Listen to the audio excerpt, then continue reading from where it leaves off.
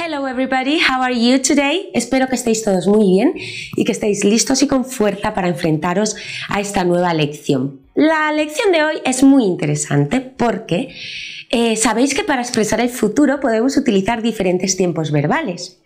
Y hay veces que decimos, ¿por qué no puedo utilizar aquí el will y sin embargo tengo que usar el be going to? ¿O por qué este futuro lo tengo que expresar con un presente continuo y no con un will o no con un presente simple? Bueno, pues eso es lo que vamos a hacer hoy.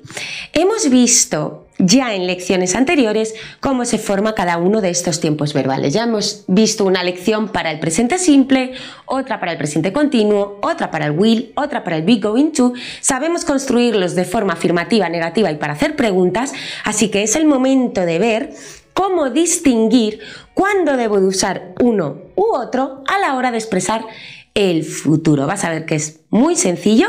Vamos a ir desgranando cada uno de estos tiempos verbales en su expresión de futuro y vamos a ir poniendo ejemplos para que lo entiendas. Fenomenal. Así que si ya estás listo, ponte la pila, coge lápiz y papel porque despegamos ya mismo con las distintas formas de expresar el futuro en inglés.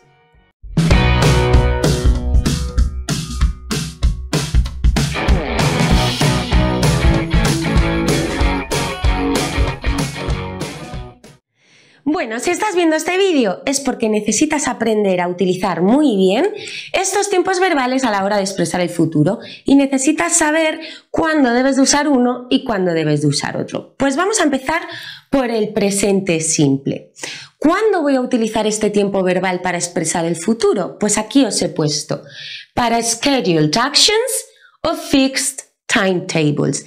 ¿Qué quiere decir? Las dos cosas vienen a ser lo mismo.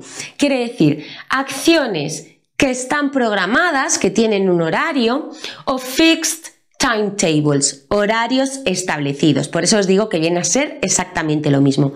¿Esto qué quiere decir? Pues cuando quiero expresar algo en futuro, sobre una acción que está puesta en un horario, que no varía, que tiene ese horario fijado, la voy a expresar en presente simple. Por ejemplo, pues los horarios, los horarios de los trenes, los horarios de los autobuses, el horario de clase, de la universidad, del colegio. Vamos a ver un ejemplito.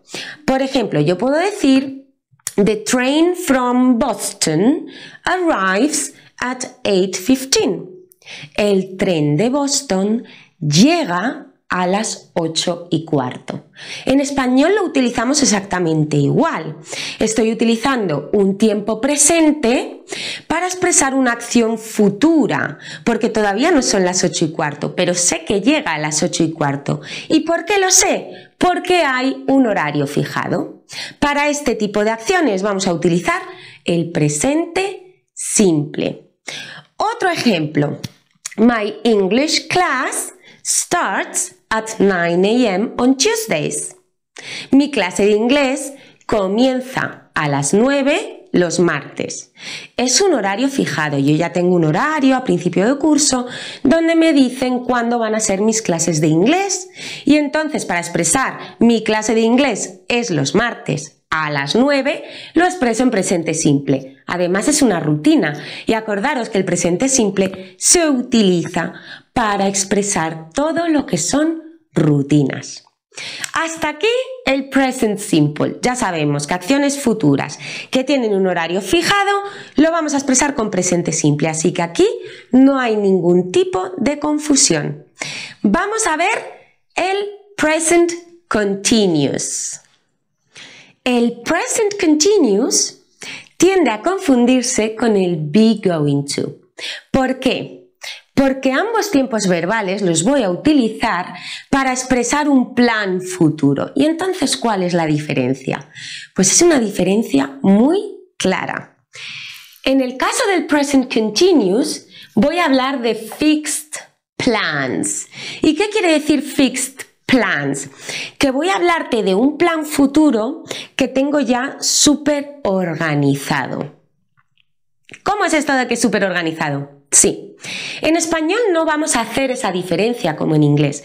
En español yo te puedo decir, el verano que viene voy a volar a Italia y ahí queda. Tú no sabes si verdaderamente es un plan que yo ya tengo fijado y programado o si simplemente es una intención. En inglés si te voy a transmitir esa idea dependiendo de si te lo expreso en presente continuo o con el be going to.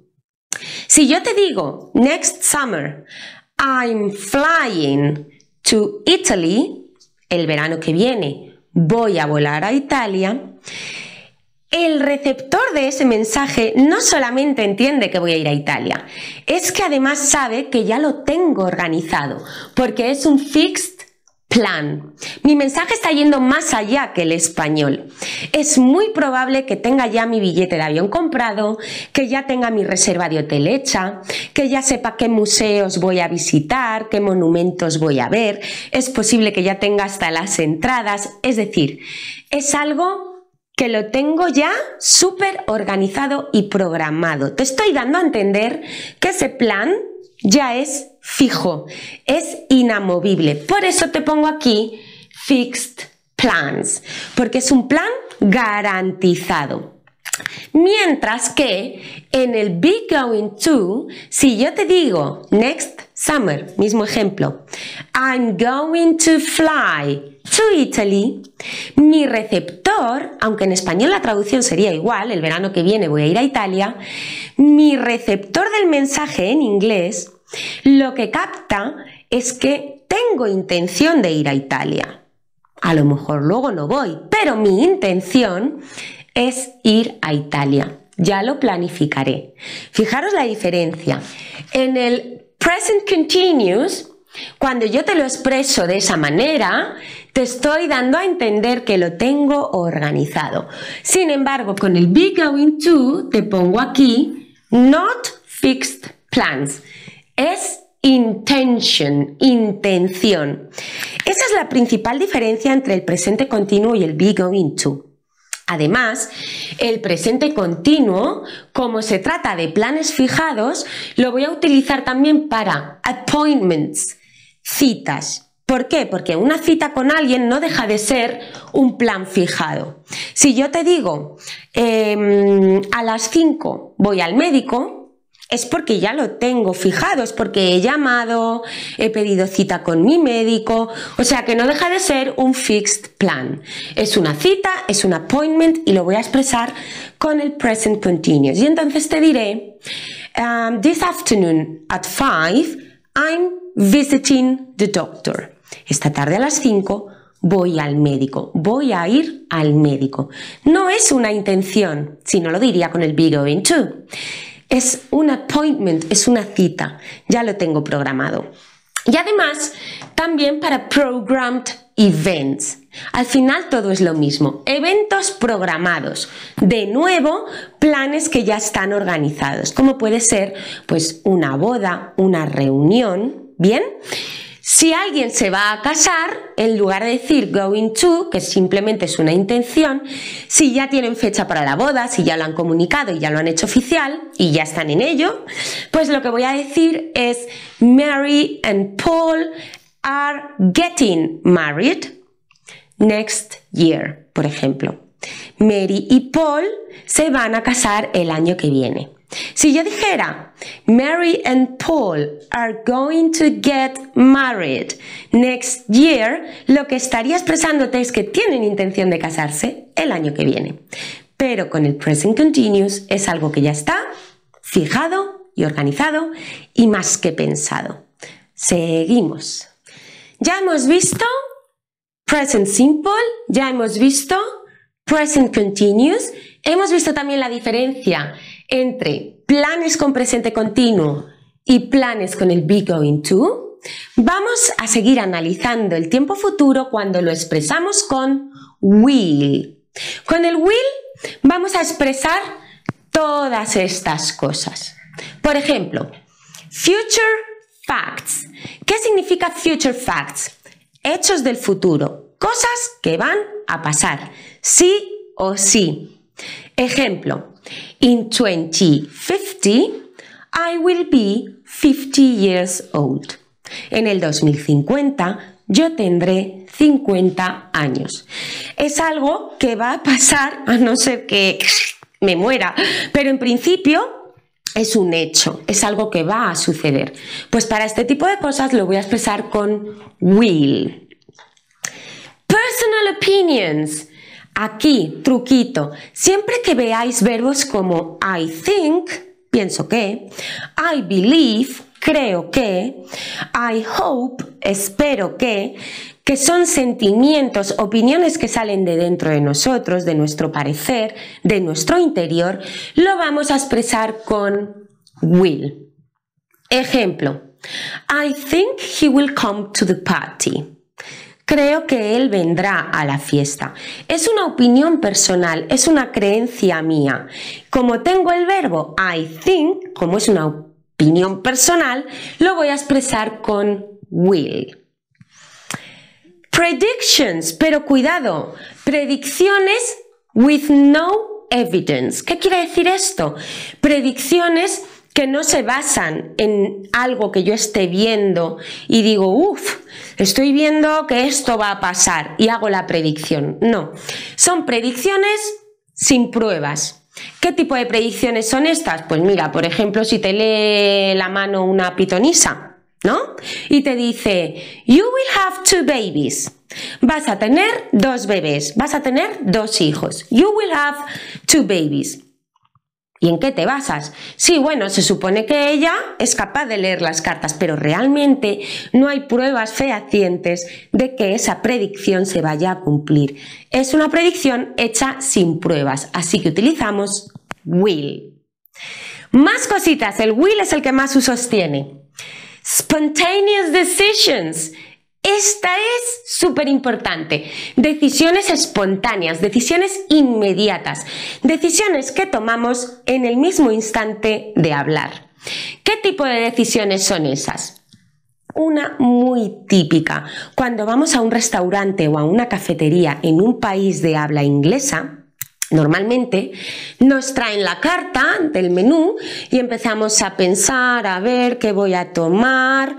y entonces viene el camarero y te dice, ¿qué vas a tomar? Y tú le dices, I will have an apple ice cream. Pues yo voy a tomar un helado de manzana. Es algo que acabas de decidir en ese instante.